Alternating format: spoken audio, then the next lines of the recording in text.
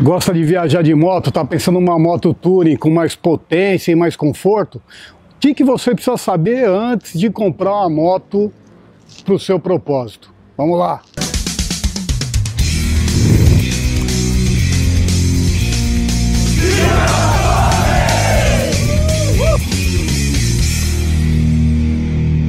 E aí, seus loucos, beleza? Aqui é o Flávio Terra do canal Los Condos, bem-vindos a mais um vídeo. Viajar é uma coisa que encanta todo mundo. Eu sei que tem muita gente que não consegue, não tem tempo, não tem condições de fazer a viagem, mas a viagem é um prazer que dá pra gente assim que é fora de série, cara. Não só o fato de estar com a moto na estrada, mas também estar com a moto na estrada com amigos e curtir o visual todo. E eu resolvi gravar esse vídeo aqui perto dessas super máquinas aqui, que essas aqui são locomotivas, né, cara? Boa para estrada, né? Boa para viajar, né, cara? Máquina forte, pesada. E as motos Touring têm esse propósito. Motos mais pesadas e boa para estrada, boa para cruzar o Brasilzão, o mundo, o que você quiser.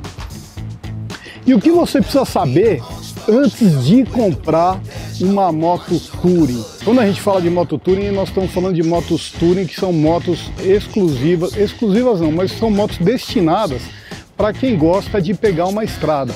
Então são motos que já são projetadas para oferecer uma, mais autonomia, mais conforto, lugar para pôr a bagagem, né, posição de pilotagem melhor. Então nós vamos falar o que você tem que estar atento antes de comprar sua moto Touring. Primeiro item, quanto você tem de grana, quanto você quer gastar, qual o seu orçamento para comprar a sua moto. É muito bom levar em consideração na hora que você está comprando a sua moto Touring não só o preço da moto, mas também o que você vai gastar de manutenção porque uma moto Touring é um, tem uma, é um estilo de moto que tem uma manutenção um pouco mais caro. Então você tem que estar atento, o seguro, o IPVA, né? E quanto você está disposto a investir para ter uma moto Touring. Lembre-se que às vezes a questão do ano não é a mais importante. Você às vezes pode encontrar a moto com 10 anos, com até 15 anos de uso e a moto está super em dia, confortável, a moto está bacana e você pode usar ela para o seu propósito sem problema nenhum, que a moto foi bem mantida. Então isso aí pode ficar tranquilo, desde que a moto tenha uma procedência bacana. Então às vezes você está querendo um modelo de moto, mas o ano que você gostaria está acima do que você quer gastar, então você pode ver uma moto com 2, 3, 4, 10 anos até e ela vai se enquadrar ao seu, ao seu orçamento. Então sempre leve em consideração o que você quer gastar na moto, o modelo de moto que você quer. Você não precisa se prender ao ano da moto e nem ao modelo. Se, veja o que você pode gastar e não esqueça, moto que são mais antigas, lógico, elas vão requerer um tipo de manutenção um pouco mais detalhada. Então você vai precisar fazer uma manutenção mais detalhada, porque a moto rodou mais, tem mais tempo de uso, então quer dizer, as revisões são um pouco mais caras. Mas às vezes compensa, tem que pesar tudo isso. Moto Touring é moto de estrada. Ninguém quer e ninguém gosta de ficar parado na estrada por um erro de manutenção por falta de manutenção. Então você tem que manter bem a moto, prestar atenção no estado das pastilhas, nas trocas de óleo, dar uma revisão geral. E não se esqueça que a gente já falou no item anterior, a manutenção das motos Touring é um pouco mais alta. Moto, para mim, é igual avião, cara. Não pode dar pau, porque se der pau, é chão. Então a gente tem que estar muito atento a isso, não pode pensar que ah, vai dar certo, o pneu tá meia vida, mas eu vou assim mesmo, desse jeito não vale a pena. Então o melhor é sempre estar tá atento à manutenção da moto, fazer as manutenções periódicas, antes de qualquer viagem, sempre dar uma checada geral na moto para não ser pego de surpresa. Para que tipo de uso as motos Touring são melhores? Óbvio, para a estrada, né? Pegar a estrada. Mas você precisa de uma moto Touring e você usa ela no seu dia a dia também, você usa para longas distâncias, curtas distâncias, uso urbano. Dá para usar? Dá para usar. Mas sempre pense isso, cara, eu só vou andar na cidade. Cara, não sei se vale a pena você comprar um caminhão para andar com ela. Outra, dependendo do tipo de moto touring que você vai escolher, no nosso país, o seguro é muito alto e o risco é muito alto também. Por quê? Quando a gente fala de moto touring, vamos falar dos modelos. Tem a BMW com a linha GT, inclusive as GS também são consideradas motos touring porque são motos que são muito boas para a estrada, além de ser boas também para um circuito off-road, né? Mas é considerada uma moto touring. A linha touring da Harley Davidson também, né? Street Glide, Road Glide, Road King, entre outras, a Ultra Limited. E também tem as motos da Indian, tem a Sport Touring, que são as motos Touring, que tem uma posição de pilotagem um pouco diferenciada, mas são motos para longas distâncias também. Temos a Hayabusa, né? A gente tinha a Blackbird também, que era uma Sport Touring. É... Fora isso, nós temos ainda a Kawasaki Versys, que é uma moto boa também para é, longas distâncias, a Triumph Explorer, né? São motos que são feitas para longas distâncias. É bom você saber sempre para que tipo de uso você vai querer a moto. Tá curtindo as dicas? Cara, você viaja muito? Conta pra gente aí, você costuma viajar? Qual é a distância que você costuma viajar? Deixa um comentário aí pra gente que a gente quer saber, né?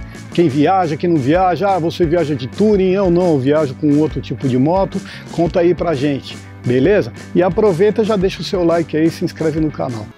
Consumo. As motos Touring, lógico, são motos mais pesadas, com motores mais fortes, então elas tendem a ter um consumo um pouco maior.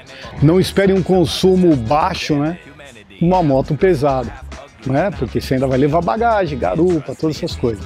Nível de conforto. As motos Touring são motos já projetadas para viagem, então elas têm nível de conforto maior. Então, mas sempre vale a pena você ver a moto que você quer e dar uma sentada, ver como é que é o banco, porque normalmente tem o triângulo, o famoso triângulo que a gente fala de pilotagem, né? Que é a relação de joelho, coluna e perna para você ver qual é a tua posição de pilotagem adequada. Então é bom sempre testar sentar e não adianta ir lá na concessionária, sentar 10 minutinhos e falar, ah, é legal. Cara, fica meia hora, né? Sentadinho ali para ver se cansa, se tá ruim, se não tá, para você não ser pego de surpresa durante um trecho aí, ver que a coluna tá doendo, ou o joelho tá doendo, ou o pulso tá doendo, né? Isso aí é bom a gente saber porque normalmente a gente pega uma moto dessa para fazer longas distâncias. Então o nível de conforto, todas elas oferecem muitos acessórios, muitos equipamentos como aquecedor de manopla, piloto automático, né, putz, porta-mala, né, os alforges. Então é bom testar, cara. Testa a moto, vê qual que é a boa e faz a escolha certa. Moto Touring tem de vários e diferentes motores, desde a Goldwing e a BMW GT, que possui motores de 6 cilindros, até a Versys 1000, que tem motor de 4 cilindros, tem as famosas V-Twin, né, que são as motos da Harley Davidson e da Indian, e também tem as motos com motor boxer da BMW. Então, tem diferentes tipos de motor. Isso é uma coisa legal também para você saber, pô, eu quero motor assim, assado, eu quero estilo assim. Isso tudo envolve moto tuning. A gente deixa sempre, ah, é, todo mundo acha que moto tuning só tem de uma marca, não, tem várias marcas e várias e todas com a mesma proposta, pegar a estrada e curtir o mundão. O que, que você precisa ter de equipamento para poder viajar com maior segurança possível com uma moto touring ou qualquer outra moto também?